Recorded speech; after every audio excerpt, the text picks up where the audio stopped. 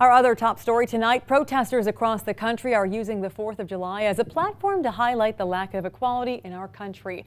Today, multiple groups held protests, sit-ins and demonstrations just in our area alone. In Treasure Island, demonstrators blocked the causeway, preventing people from getting to and from the beach for a few hours. Sarasota also saw some traffic jams from protests.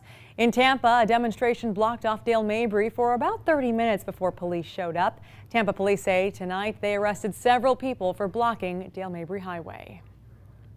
And on this Independence Day, right around 100 members of the Black Lives Matter movement say they'll be spending the night protesting in the park across from police headquarters.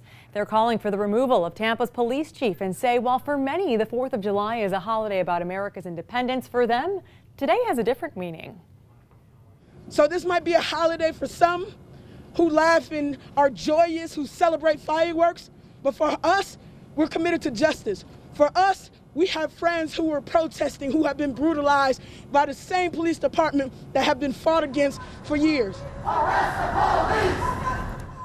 Tampa police at one point came outside to let the crowd know sleeping was not allowed in the park, but so far the event has remained peaceful.